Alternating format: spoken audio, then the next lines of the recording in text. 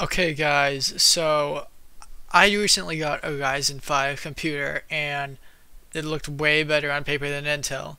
But I started getting some BSODs in Windows 10 pretty much every 20 minutes after all the drivers were installed, after all Windows was updated. Uh, I double checked to make sure that the memory wasn't like flawed or anything. And I did the mem test and it came back 100%. So I was wondering, why do I keep getting these blue screens of death? Why does this keep on happening?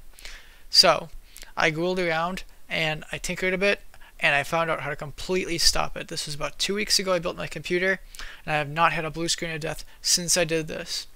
So number one, what you're going to want to do is you're going to go to AMD and you are going to want to go to the drivers, um, find your chipset drivers, on an AM4, I have a B450 motherboard. Download the driver. And yeah, just wait for that to download. Yep. Run it. And, you know, just want to make sure that you get the latest and greatest drivers here. It's important because Windows 10, when you update it, it doesn't give you the latest driver. So you're going to want to install 1810. I currently have that installed. And it's going to, you know, say that that's what I had here. So you want to update to 1810. And I've already done that, so I'm not going to do that again. And then after that, you're going to want to restart your computer. Now, once you've restarted your computer, you're going to want to go to Windows.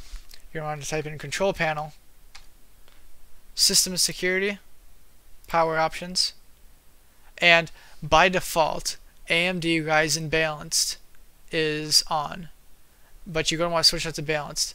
So I'm going to open up, uh, you don't need this program, this just shows. I think the reason the BSODs happen is because right here, the EDC, it's going to be like 99 to 100% on load all the time under the default AMD Ryzen Balanced plan. If you go to balanced, that eases it up. So watch that. Watch that spike up. That is what's causing your BSOD, I believe. So you're going to want to switch to balance. And there you go. You won't get any more BSODs. Uh, your life will be simple. There you go, guys. Peace.